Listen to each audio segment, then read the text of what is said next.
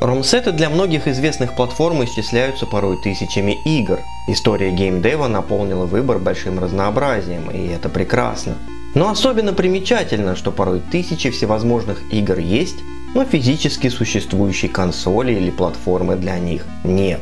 Прошу любить и жаловать Пика 8, виртуальная консоль, существующая только в виде эмулятора, но завоевавшая огромную популярность и имеющая в своей библиотеке достаточное количество значимых и интересных игр.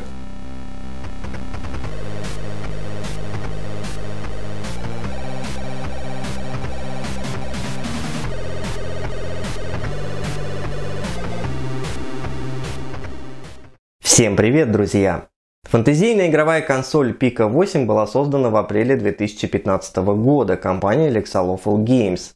Это попытка воплотить ориентированный на ретро 8-битный геймдев с открытым исходным кодом и простотой в использовании, но в то же время в жестких рамках. А лимиты достаточно существенные. Разрешение графики всего 128 на 128 точек. 16 цветов, но вроде как есть дополнительные цвета и хитрости в их использовании – 4 звуковых канала, а виртуальный картридж не может содержать более 65 тысяч знаков. Кстати, о картриджах. Консоль поддерживает два формата. Текстовый с расширением P8 или PNG файлик. Причем последний вариант очень интересен. Если просто открыть его в операционной системе, то он откроется как картинка с изображением картриджа. Но открыв его в эмуляторе, можно увидеть хитро спрятанную в PNG файлике игру или демку.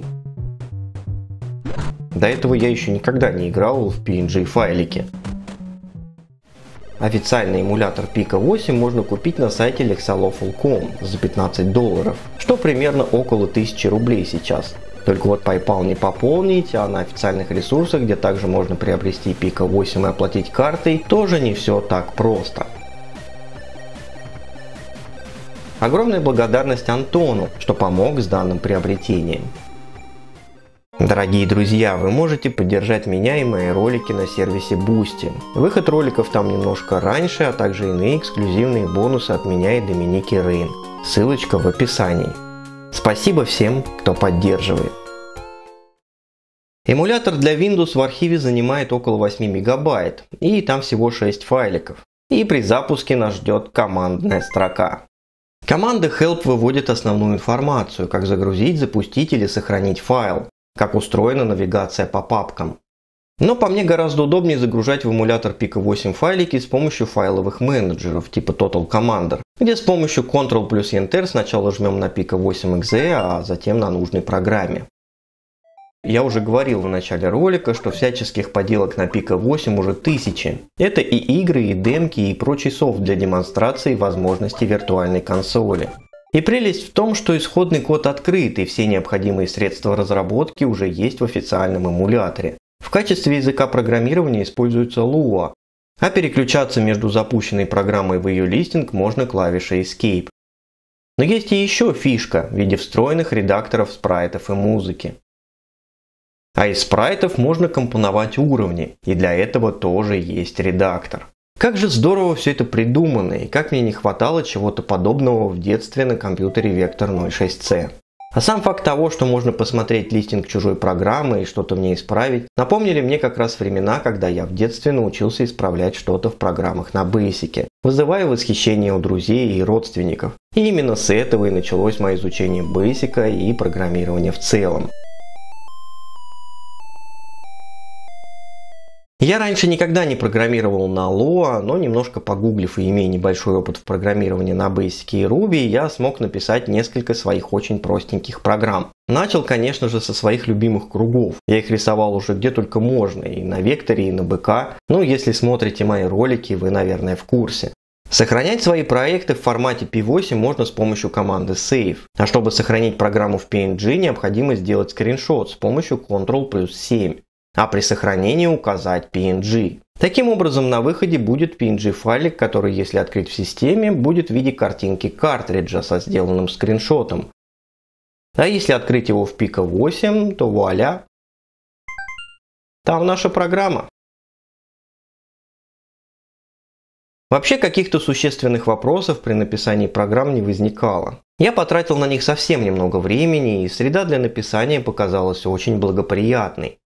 Конечно же, захотелось нарисовать и какой-нибудь спрайтик в редакторе и попробовать его подвигать. В итоге остановился я на машинке, которую очень быстро научил ездить в разные стороны. Блин, я уже полюбил этот пика, что же в нем все так классно? Но это, конечно же, все ерунда по сравнению с тем, что опытные программисты из этого пика могут выудить. А выудили тысячи программ игр, всевозможных игр. Изучая эту библиотеку, я был просто потрясен. Многие игры шикарны, несмотря на ограничения консоли. Конечно же, большинство из них это всяческие платформеры и лабиринты. Ну, я увидел практически все жанры, которые возможны. Даже достаточно продвинутые космические симуляторы попадаются. Особенно мне нравятся гонки на Пика 8. Да, разрешения порой явно не хватает, но многие играются очень классно. Может именно поэтому машинку ты и нарисовал. Управление в играх очень отзывчивое, и на клавиатуре, как правило, задействованы клавиши со стрелками и Z, X, C. Но на мое удивление, джойстик Xbox One, подключенный к компу, тоже по умолчанию, я его нигде не настраивал, замечательно работает в играх. На мой взгляд, эмулятор вполне оправдывает свою стоимость. Никаких нареканий в его работе я не заметил, а приятных плюсиков достаточно. Конечно, есть и сторонние эмуляторы, но я не буду их подробно рассматривать. Скажу лишь, что в операционной системе Recalbox, которой я пользуюсь на стримах и для записи геймплея в роликах, тоже есть эмулятор Pico 8. Но работает он неважно. Запускается далеко не все, а на некоторых файлах Recalbox наглухо виснет. И спасает в таком случае только перезагрузка. Ну и конечно ни о каких средствах разработки тут речи не идет. Мы просто запускаем игры и демки и не более. На Пика 8 мне достаточно часто попадаются адаптации известных видеоигр, которые часто называют демейками. Жаль, что не все они полноценные, зачастую в них реализованы лишь несколько уровней, либо мне попадаются демо-версии. Но в любом случае у меня подобные игры вызывают повышенный интерес. Контра особенно порадовала. А вот в Star Fox графика практически такая же, как и на Super Nintendo, только выглядит пошустрее и управляется гораздо приятнее. Есть даже 3D-шутеры на Pico 8. Кто бы мог подумать, что в разрешении 128 на 128 и в 16 цветах это вообще возможно. Но возможно. Вот вам и Wolfenstein 3D, причем весьма неплохой. Ну и как же без великого Дума, который на Pico 8 пум. На мой взгляд, он заслуживает особого внимания. В архиве вместе со встроенным эмулятором этот Doom занимает чуть больше 1 мегабайта. А исходники к игре в архиве, который в сущности из себя представляет кучу P8 файликов, около 300 килобайт. В то же время, блин, это Doom. Да, низкое разрешение дает о себе знать, ориентироваться на локациях, пожалуй, сложнее. Да и карта не реализована, но управление динамика великолепный. И игра вполне с достоинством играется как хорошо известный 3D-шутер. Уж не знаю я, насколько нужно быть продвинутым, чтобы в таких рамках творить такие шедевры. Движок для игры разработал Fred72, а графику, звук и уровни Paranoid Cactus. Причем уровни полностью оригинальны. Да, их всего 6, но они достойно спроектированы. Хорошо придется побегать, чтобы собрать все ключи и открыть двери. В качестве саундтрека в игре три известные мелодии из оригинального Doom. Противников в игре всего 4 сержанты зомби, импы, потерянные души и какодемоны. А в финале очень жирный босс кибердемон. Из оружия у нас дробовик, чейнган, ракетница и плазма-ган. Плазма сильно потеряла в скорости стрельбы, что для меня, пожалуй, было наибольшим огорчением. Уровни достаточно богаты на патроны, и взяв на третьем уровне чейнган, дробовиком уже можно совсем и не пользоваться. Вообще, в целом игра не сильно сложная. Я с удовольствием прошел ее за один присест, потеряв пару попыток лишь на финальном боссе. Как я уже говорил, уж чересчур он жирный. Но в целом Пум прекрасен, его авторам невероятнейший респект. Есть на Пика 8 и примеры игр, которые завоевали большую популярность и перекочевали на множество других платформ.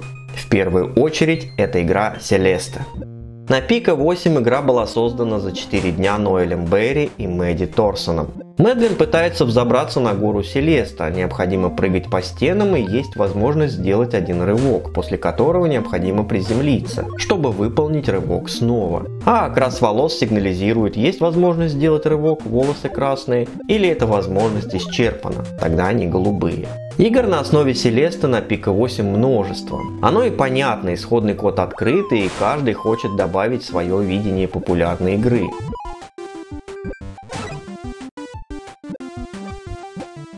Разработчики оригинальной Селеста не остановились на версии для Пика 8, а выпустили на ее основе игру уже для ряда современных платформ. И она обрела колоссальный успех, собрала множество наград и была признана одной из лучших игр 2018 года. Еще одна сторона популярности Пика 8 это, конечно же, демо-мейкинг. Тут и понятно, жесткие рамки, но в то же время свобода. Каждый пытается выдумать что-то и преподнести как новое, классное и порой шедевральное. Даже в самом начале программа предлагает скачать и установить несколько демок. И что тут сказать? Это здорово. Во-первых, это открытый код, и на таких программах можно учиться. А во-вторых, смотреть на некоторые демки – это получать удовольствие.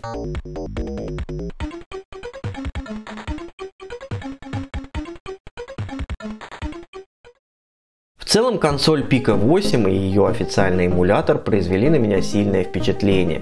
Огромный выбор качественных игр и подделок, в которые можно играть и в которых можно ковыряться. А самое главное, есть возможность сделать собственные поделки. С вами был Евгений. До новых встреч! Огромная благодарность всем, кто меня поддерживает.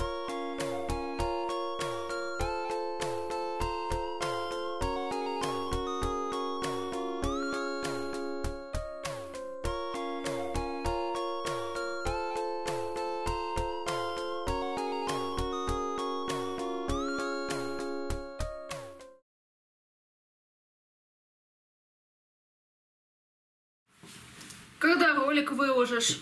Я его еще не доделал. Так ты же на празднике обещал. Доминика, отстань. Да ну тебя! Иди ты в пико!